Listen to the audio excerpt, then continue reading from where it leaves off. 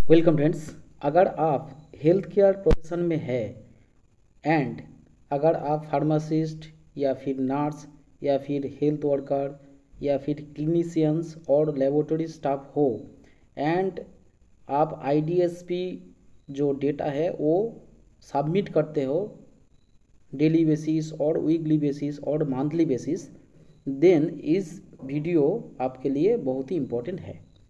क्योंकि इस वीडियो में हम बात करेंगे आईडीएसपी जिसका मतलब है इंटीग्रेटेड डिज़ीज़ सर्वेलेंस प्रोजेक्ट तो इसका हिस्ट्री क्या है कैसे ये आया पहले जान लेते हैं। सो so, आईडीएसपी जो है वो नवंबर 2004 में चालू किया गया था।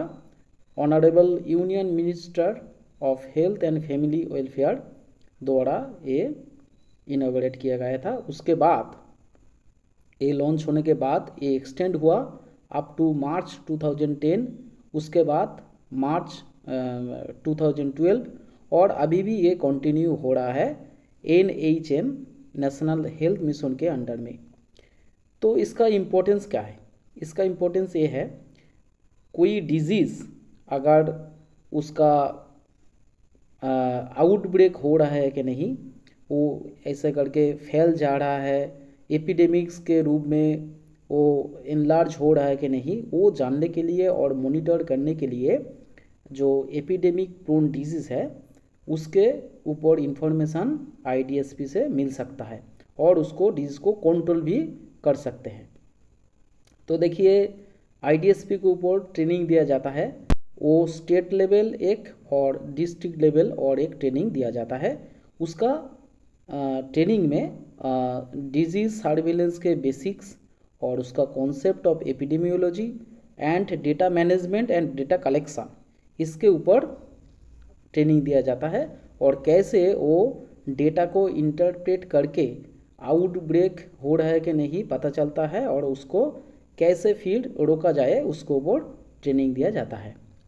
अभी देखिए डेटा जो मैनेजमेंट होता है आईडीएसपी का बहुत ही इम्पोर्टेंट है। यहाँ थ्री टाइप्स का डेटा होता है।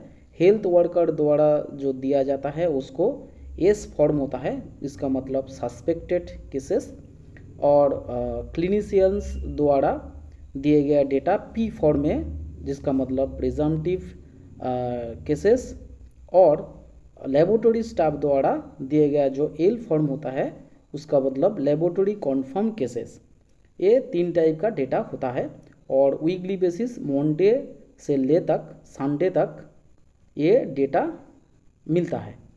अभी देखिए इसका इम्पोर्टेंस क्या है? क्योंकि जब भी कोई डिज़ीज़ आउटब्रेक होता है मतलब कोई रीजियन में कम टाइम पे एक डिज़ीज़ फैल जाता है उसका आ, एक कॉन्सेप्ट मिलता है इस आईडीएसपी डेटा से सो। So, एक वीडियो ऑलरेडी इस चैनल में है जहाँ पे आउटब्रेक क्या है पेंडेमिक क्या है एपिडेमिक क्या है? इसके ऊपर कंपैरिजन किया गया है।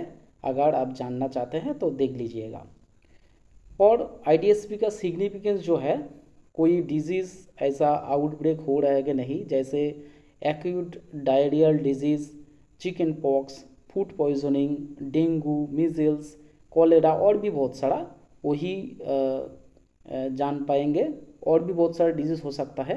जैसे देखिए, एक वीकली रिपोर्ट फॉर्मेट यहाँ पे दिखाया गया। यहाँ पे कौन सी डिज़ीज़ यहाँ पे आ, है? कितना पेशेंट हो रहा है? कौन सी डे में? वो वीकली ऐसे करके फिलअप करना है। जैसे देखिए यहाँ पे है एक्यूट रेस्पिरेटरी इन्फेक्शन मतलब इन्फ्लुएंजा लाइक इन्फेक्शन जो है आईएलआई उसके ऊपर कितना पेशेंट हुआ है? ऐसे करके न्यूमोनिया देन डायरिया ऐसे करके dysentery enteric fever viral hepatitis malaria then measles diphtheria pertussis chicken pox meningitis और भी बहुत सारा यहाँ पे ऐसा करके होता है। उसके साथ डॉग बाइट स्नेक बाइट और एंथ्रैक्स उसके बाद कालाजर फाइलेरियासिस थैलासेमिया एंड इसके अलावा अदर्स मतलब ऐसा कोई डिज़ीज़ जो इनमें कवर नहीं हुआ है।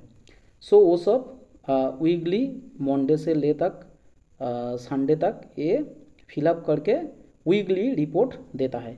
और ये वीकली रिपोर्ट कहाँ से आता है? डे बाय डे जैसे मंडे कितना हुआ एज ग्रुप के हिसाब से मेल फीमेल ऐसे हिसाब से करना पड़ता है। और उसके बाद ये कॉम्बाइन करके मंथली रिपोर्ट आता है। मंथली रिपोर्ट देखिए, यहाँ पे एक फॉर्मेट दिया गया एआरबी और इम्यूनोग्लोब्यूलिन के ऊपर। यहाँ पे कितना डॉग बाइट हुआ कैट बाइट हुआ मंकी बाइट हुआ और उसके साथ कौन सी कैटेगरी में हुआ? मतलब कैटेगरी वन टू और थ्री क्योंकि कैटेगरी थ्री में क्या होता है? एआरबी के साथ इम्यूनोग्लोबुलिन लगता है। सो ऐसे करके कौन सी रूट में वही इंजेक्शन दिया गया था? I I M route I T route और क्या, कौन सी रूट और कैटेगरी थ्री में कितना विक्टिम्स था? उसका भी रिपोर्ट यहाँ पे डालना पड़ता है। अभी देखिए ज़्यादा तरीके के पेशेंट का आई डी रूट में दिया जाता है, अगर आई एम रूट में नहीं दिया गया तो उसमें ज़ीरो डालना है, ठीक है? और उसके बाद कितना स्टॉक आपका ए है और उसका स्ट्रेंथ मतलब वॉल्यूम क्या है maybe zero point five M L और वन एम एल सो उसका ओपनिंग बैलेंस कितना आपका हैंड में था और कितना कंजम्पशन हुआ, वो सब यहाँ पे डाल के फाइनली क्लोजिंग बैलेंस क्या है, ये यहाँ पे कैलकुलेट करके नेक्स्ट मंथ में जब जाएगा रिपोर्ट तब ओपनिंग बैलेंस हो जाएगा उसको। पहले महीने का जो क्लोजिंग बैलेंस था, वो यहाँ पे ओपनिंग बैलेंस हो जाएगा। तो ऐसे करके कैलकुलेट करना है।